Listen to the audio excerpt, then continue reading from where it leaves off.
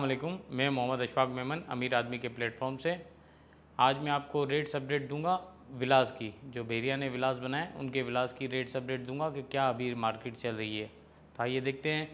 सबसे पहले आते हैं प्रेसेंट टू में, कायद विलास। इनकी जो अभी हम वैल्यू देखते हैं, दो दो सौ पच्चीस, दो करोड़ पच्चीस लाख रुपए से लेके दो करोड़ पिछहत्तर लाख रुपए है, और ये 200 गज़ के विलास हैं।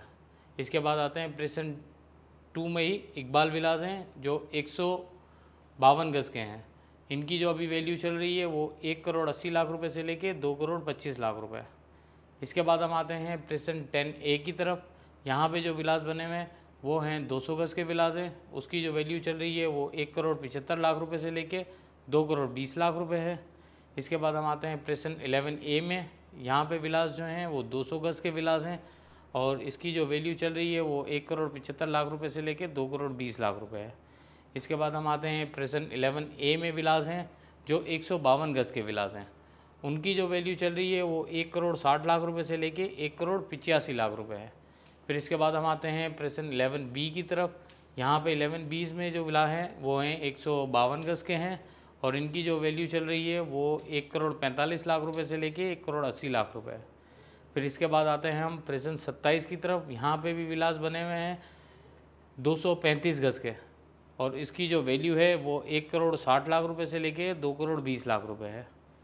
फिर इसके बाद हम आते हैं प्रेजेंट इकतीस की तरफ़। यहाँ पे जो विलास बने हुए हैं, वो भी 235 गज़ के विलास बने हुए हैं और उनकी जो अभी वैल्यू चल रही है वो एक करोड़ पचास लाख रुपये से लेके एक करोड़ पचहत्तर लाख रुपये है।